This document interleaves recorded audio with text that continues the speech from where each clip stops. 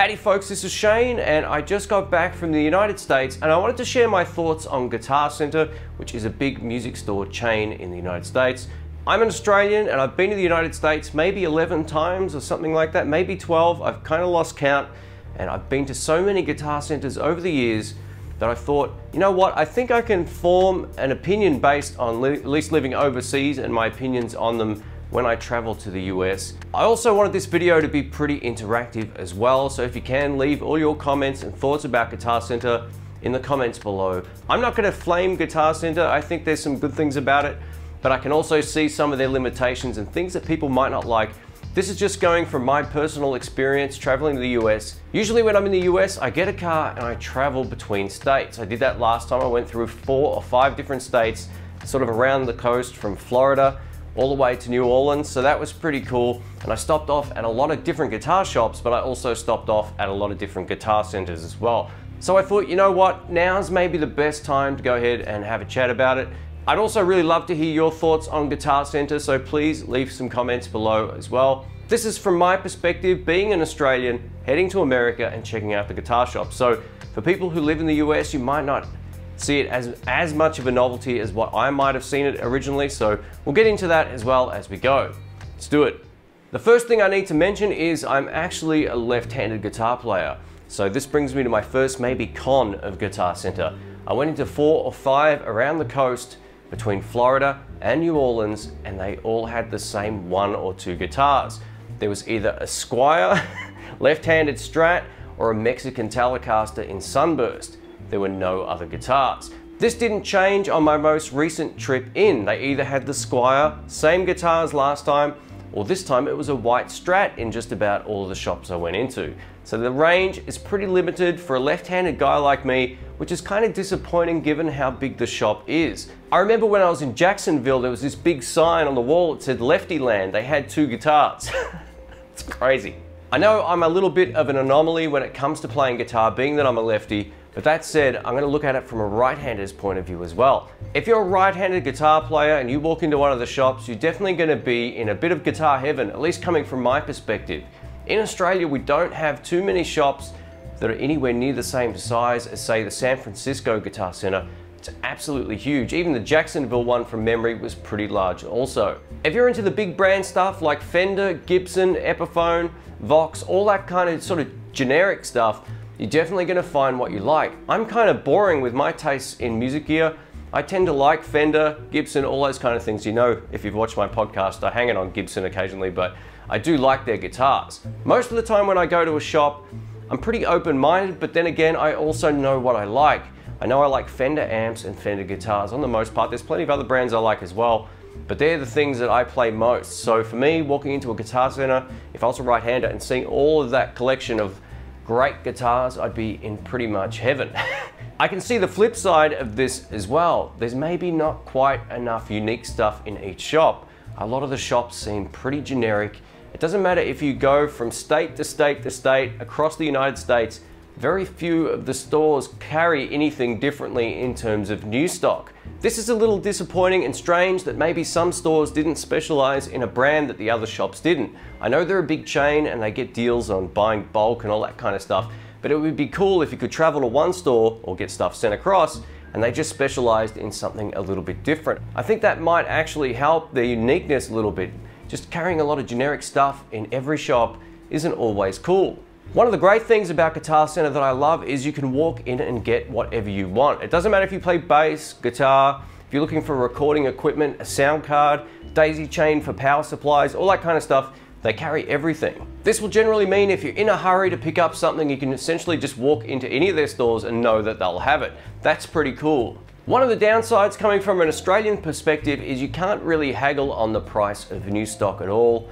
They seem to have the list price and then their sale price and there's not a lot of room to move it. This didn't seem to always be the case. I remember buying like a bag full of pedals from the San Francisco branch years ago and they actually gave me a discount off the price that was already on the ticket. I thought that was pretty cool. In Australia, it's different. You basically see that ridiculous high price and you can usually knock it down to a less ridiculous high price. So we do have a little bit of bargaining or bartering system in terms of shopping for guitar equipment, and it's kind of expected. I wonder if removing the haggling process might have actually hurt Guitar Center in terms of sales. It's kind of almost expected that you're a guitar player, you walk in and you get a discount. At least that's how it is here. So that might just be a foreign thing, but let me know your thoughts on that as well. One of the cool things about the shop that a lot of people might overlook is if you play something, there's not that expectation that you have to buy it. It feels very different to shops here. If you play something or take something off the wall and they unlock it and all that kind of stuff, there's almost this pressure that you've got to walk out with it just because you've you know you've tested it out. In the States it feels very very different. I really like that about Guitar Center. The thing that I like best about Guitar Center and if they sort of develop this even more into their shop, they would absolutely just kill it is their used guitar department and amps, all that kind of stuff. So any used gear that they have is generally way way cheaper and they won't have the same generic brands in their used department or guitars as they would have in their new department, which is awesome. The only time I've seen some really great left-handed guitars at Guitar Center were in their used department. This was several years ago, and I was blown away by what they had. I was actually shocked. I thought, why don't they carry this stuff normally? That's the thing, generic brands, it can sometimes work and it sometimes won't. The difference was this time, these two Fender guitars that I saw were custom shop guitars in a lefty that we used and they were about half the price as what you'd pay normally, which is really, really good. I also heard that the longer something stays on the wall, the more the price drops. So if you hang around and wait, you can generally get a really great bargain. Just to put it in perspective, for anyone who's not in the United States right now, I went into a guitar center in Natick, which is in Boston, which is where this guy's from. And I went in there with Nick in the States and Pixie Licks, and Pixie was playing a Mustang 3 for about 120 bucks. It was a used guitar, but 120 bucks, and it sounded awesome. Down in the Sarasota branch, I saw a 410 Blues DeVille, which is something that I don't see a whole lot of, and it was about 400 bucks. Something like that in Australia would go for eight or 900 bucks secondhand. It's an absolute deal. Their secondhand amplifier selection was just off the wall good and off the wall cheap as well. I think Guitar Center could have the potential to really corner the market if they chose to do more used gear. I just think it's great. Obviously, I'm not 100% certain of the actual profit and all that kind of stuff when it comes to used gear, but there's lots of great stuff in there. Everyone that I hung out with in the US said the same thing, their used wall is always the best wall.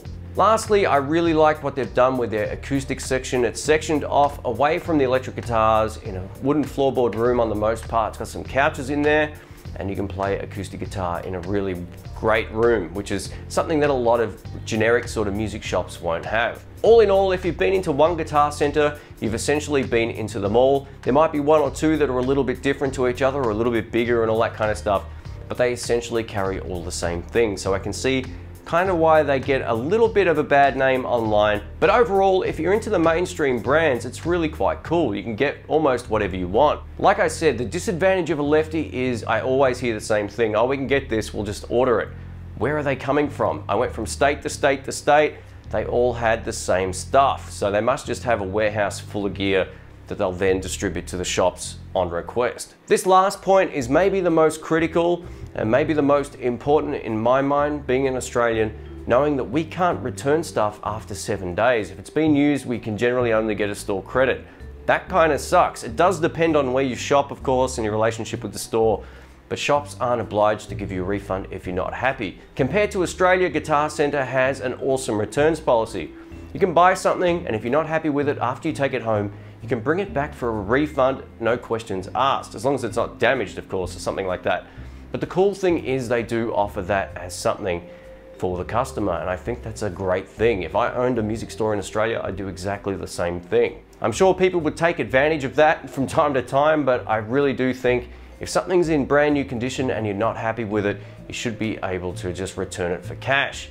When I bought that Fender Mustang GT that I hated, I couldn't actually return it for cash. It sucked. I had the box and everything. Even though it was only a week later after I returned it, I could still only get a store credit. I think that's a little disappointing. Thanks for watching. My name's Shane. If I did miss any topic in particular or point about Guitar Center or I missed something that you might have experienced with it, please let me know. I tried to keep this as fairly unbiased and from my Australian perspective heading over to the US over the years. Like I said, I've been there around 11 or 12 times now. Maybe over the last sort of eight trips, I've been into a lot of the music stores and I always sort of feel the same now walking out of Guitar Center. Wow, there's lots of stuff, but each one is pretty much like the next. If you have any comments or questions, please leave them below. Thanks again for watching, and I'll catch you all soon. See ya.